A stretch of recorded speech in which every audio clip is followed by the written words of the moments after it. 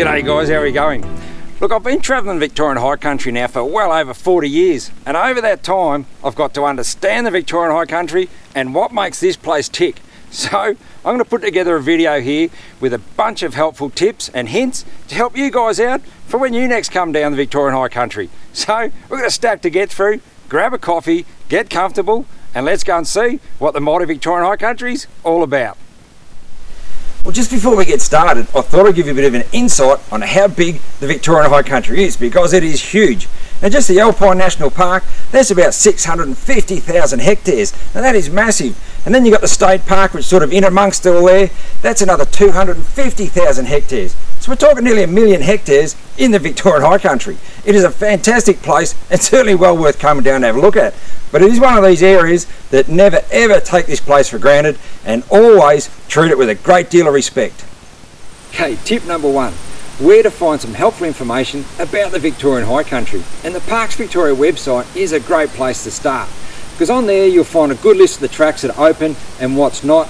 And even during the times when the gates open in Melbourne Cup weekend in November through to Queen's Birthday weekend in June you know, we get some really harsh weather conditions down here. And sometimes there'll be extended closures on those tracks or even midway through the season they can sometimes close tracks down for safety because those harsh weather conditions. So don't always assume tracks are going to be open just because it's that time of the year. So have a good look on their website and make sure that tracks are open for the ones that you plan to drive. Another little tip I'll give you here, if I'm going to an area I've not been into for a while, I'll often ring that Parks Victoria office that's in that area and have a chat with the rangers there because look these guys are on the ground all the time and I've always found them really helpful for the information that I'm after whether it be about the weather rivers you know track conditions all those sort of things. Those guys are really really helpful and well worth having a quick chat to that's for sure. I suppose then you just have a chat to some locals and they might give you a few tips as well. So there's tip number one. We'll move on to the next one. So tip number two. How do you stay informed on weather conditions while you're out touring the Victorian High Country. And the best way that I have found is by tuning into the ABC radio 774 on the AM station. And that's another reason why I put this long aerial on here, because it gives me great coverage anywhere in the Victorian High Country. And it's the best way I've found for staying up to date with the weather, total fire ban days, and all those sort of things. So there you go, there's tip number two. Well, tip number three, when is the best time to come down and visit the Victorian High Country? Well, for me, any time of year is a great time of year because I just love the place. Can't get enough of being up here. But for you guys, if you might be coming down from interstate, you know, so it's a long way to come down. So you want to make sure that you come down at those best times of year to give you the best opportunity to travel through the high country and check out all those amazing sites. So what I'm going to do here is We'll start with when the gates open, so that's the first Thursday before Melbourne Cup weekend in November, and then we'll talk about each month as we go through to when the gates close again, so that's the first Thursday after Queen's birthday weekend in June. Now, November is one of those very hit and miss sort of times of the year, I reckon. Anything can sort of happen from wind, rains, um, get a few hot days here and there. Daylight savings is now well in, so that's a good thing because you know you've got longer days. But it's not uncommon also that time of year to get a bit of snow happening. Um, and then you get into December. Now December's a little bit the same as November, but you get start to get a few more warmer days. Um, but again, the snow's not uncommon, sort of mid to late December. It's generally somewhere around Christmas time. It snows up in this uh, amazing part of the world. But you know, so you've got to sort of be prepared for that sort of thing as well. Um, then you get into January and February. Well, they are our hot times of the year, and don't worry, we do get some hot times of year down here in Victoria, believe it or not, but we do. Um, so those times of year are generally hot and dry. Um, could be a few bushfires going on, so you need to be aware of that sort of thing going on with that time of year. Now, for the primo time of year, it's got to be all of March and sort of that early to mid-April is the best time. So you sort of got about a six or seven week window there Daylight savings is still going, so that is a beautiful time. So you've got your longer days going on. The temperatures are generally around sort of that high 20s to maybe the odd low 30s every now and then. Really, really nice time of year, good climate. Weather's generally pretty good. Not a lot of rain sort of happens at that time of the year, so that gives you great opportunities to, you know, travel through the high country and check it all out.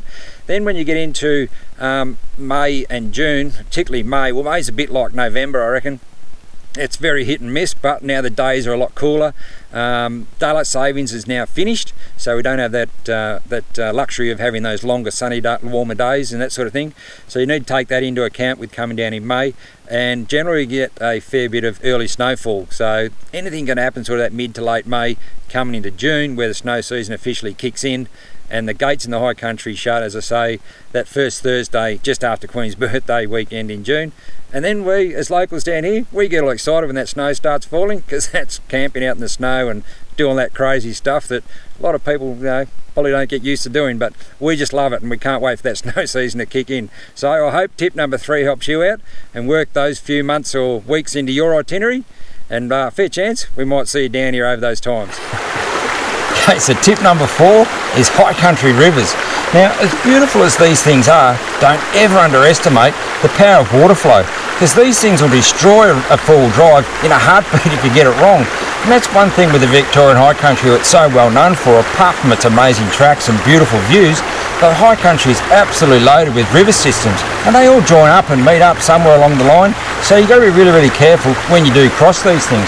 Like for example, if you were to do a trip from say Mansfield through to Dargo, on a trip like that, depending on which way you go, you'd be doing in excess of around 40 river crossings. Now that's a stack of crossings to do in one trip. And where you've got to be really careful when you're doing a lot of crossings like that is you've got to keep an eye on the weather. Because if it rains, these things can rise really, really quickly, and that's where you've got to be super careful when crossing over them. But there's a couple of also things you keep in mind when it comes to the weather. It doesn't have to rain where you're camping for these to rise. So, you know, you could get a lot of rain further upstream and the river systems, as I say, they all join up and meet. They all rise and, and you've got to be very, very careful. But there's a couple of sure signs to keep an eye on where you can see what's going on upstream. I mean, these things don't talk to you, but they'll certainly show you what's going on if you know what to look out for. And the things to look out for are these things, the river systems are generally pretty clear and clean most of the time of the year, but if they start getting that dirty, muddy sort of a look about them, and you know there's been some storms in the area, there's a fair chance there's been a stack of rain further upstream, and these things will rise really, really quickly in situations like that. So if you're going forward in a trip and continuing on, you've got to be super careful with going forward, knowing there's more crossings you're going to do, and the river's are already starting to change colour, you've got to be really careful on those sort of things. So keep that little tip in mind for your next trip and look out for those rivers if they start changing colour. Okay, so tip number five, this is what I call the game-changing conditions. And what do I mean by that? Look, I've already spoken a little bit about the rain, how that can affect the river systems and that sort of thing, but there's something else you've really got to take into account, and that's on the extreme windy days. So if you're doing a trip through the high country, you know you're going from one day through to the next, and you get one of these really extreme windy days, You've got to decide whether you base camp up for one more day and see what the next day brings, or you chance it and drive through. For me, there's no way knowing I'd be driving anywhere in the Victorian High Country on those really windy days. It's just far too dangerous. There's a fair chance trees coming down. And one thing with the high country, there's no shortage of trees here. There's also a couple of areas you've got to take into account on those really windy days. And so I call them the grey timber areas. There's a few of them around. There's one of them out of Mansfield here. When you drive up through number three track, there's a lot of grey timber up through there. And if you're heading up towards sort of Lovick's Hut and Bluff Hut, as you start the track, there's a lot of grey timber there. And if you've been over around Dargo and up around Blue Rag Range track and those kind of areas, there's a stack of the grey timber trees up through there. And what they are, they're trees that have been burnt through the Victorian High Country fires over the years. And you've got to be really careful because those trees are dead and they're just sticks pretty much standing in the ground. And on those really windy days, they can fall really, really easily. So take that into account. Do you park up for another day or do you take a chance? For me, I'd be parking up every day of the week. Okay, so tip number six, I'm going to list all the items that I bring on every single time when I go out into the high country. Doesn't matter what time of year it is, so we'll get into it. But I'm going to start here first. Look, even though this is a fixed item, so it's on the car all the time, but I would say a snorkel is an absolute must. If you want to have a good look around the Victorian high country, because the amount of river crossings you're going to have to do, these are an absolute necessity. So make sure you get a snorkel, fit it to your four-wheel drive. So here's a lineup of the gear that I bring in my four drive on every time I head out into Victorian High Country. So we'll go in through them each of them step by step and I'll show you all the bits and pieces that I bring along on every trip. And I pack this gear before I do food, uh, clothing, anything like that. This is all my necessities that come with me on every single trip. Doesn't matter what time of the year it is. So we'll get into it, eh? Okay, we'll start at the beginning here. Look, this is no sort of certain order on when I packed all, all these bits and pieces, but these are just all the items that I do bring on every single trip. So I'll start with a really good quality toolbox. So it's got all the spanners there, sockets and you know, Allen keys and that sort of thing. Fit pretty much all the nuts and bolts on, on my full drive and even someone else's full drive. So good quality toolbox. Highly recommend getting one of those. Uh, log splitter, that's great for splitting up firewood and things like that when you get to camp. Uh, little axe here, that's really handy, you know, for getting cutting up, splitting up kindling, you know, to get your fire started. A good old fashioned bow saw, you can't go too wrong with carrying one of those either. Don't carry much, know, not a lot of weight involved, so will take up much room, so well worth grabbing one of those. Um, and then the long handled shovel. Well, there's a lot of uses for one of those, whether you dig yourself out, if you get into a bog or that sort of thing, or you might have to clear a fire pit out. But also really handy if you're not camping anywhere where there's a drop toilet, if you've got to go out in the bush and, and uh, dig a toilet, you're going to need a shovel. So make sure you've got a shovel for that sort of application. okay, so this is all the gear that I've got now for pumping up my tyres and deflating my tyres because it's certainly a big part of full driving and something you should do every time when you go out out in the bush full driving. So I've got a good quality air compressor and I've got a tyre gauge there as well um, so I can use that for you know checking my tyre pressures and, and that sort of thing. Um, then I've got the easy deflator here. These are just fantastic for um, letting your tyres down really quickly. So highly recommend, make sure you have a good setup for pumping up your tyres and letting your tyres back down again. Righto, we'll move along to the next couple of items.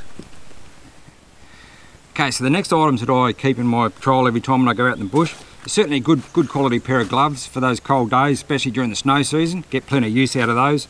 Uh, the trusty old Driza-Bone, you can't go wrong with one of those. Uh, three quarter length, and that certainly keeps me nice and dry, you know, for out in the rain and those sort of things. Um, and then the other items, certainly my hat and Driza-Bone vest. Can't go past without taking these on every single trip. Uh, getting to some of the safety items that I certainly take away with me. Um, and I've had this snake bite kit here. This is purpose designed kit for snake bites and spider bites.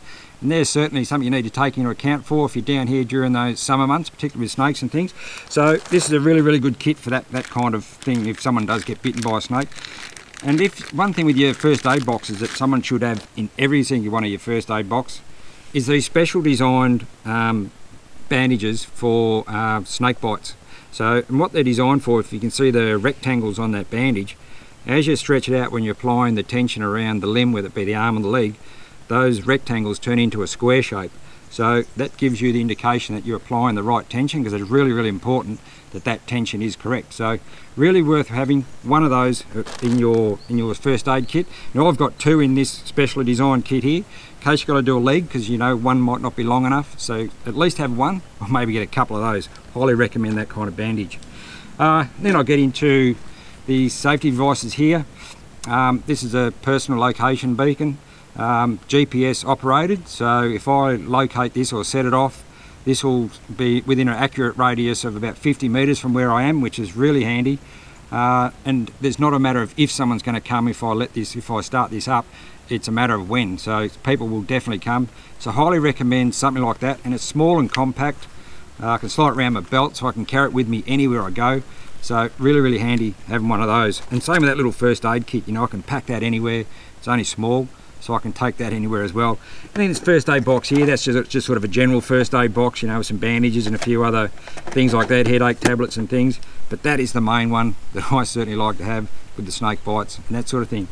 And then with the jerry can here, um, I don't always carry spare fuel, just depends on how far I'm going, because I mean, the Patrol's got 120 litres in it from standard, but you know, if I'm doing a, a, longer trip for three or four days, I'll always take a jerry can. Might not use it, but I'd rather have plenty than go looking for it. So, always take a jerry can.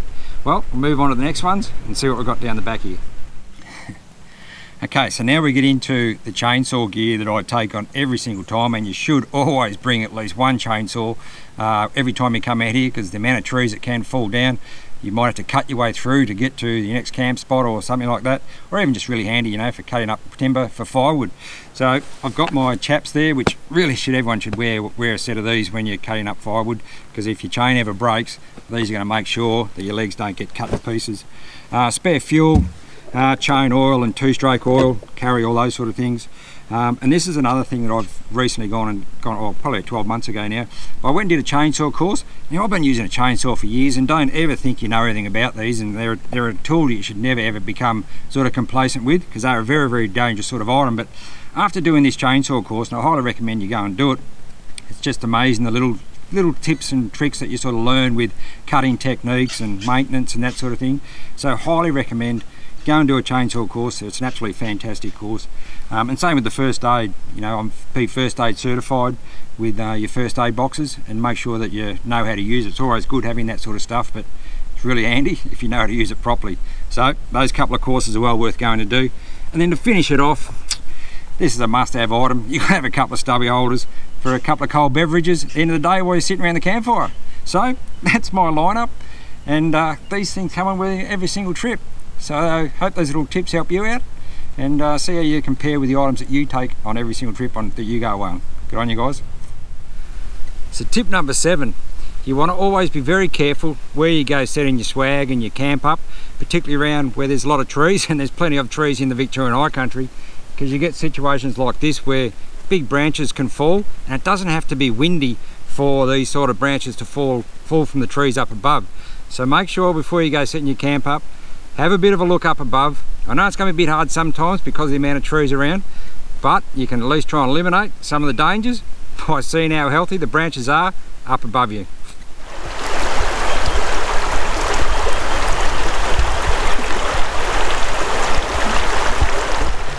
The Victorian High Country. It is a beautiful place and it's well worth coming down here to check it out. It covers a massive area and the weather, well it can change down here at any time and without notice. So you do need to be prepared for that. And I hope some of the tips in this video have helped you out for your next four drive camping adventure into the area. And if you've got any further questions, please don't hesitate to contact me. But in the meantime, I'll look forward to seeing you guys on another one of Tim Bates' Four Drive Adventures.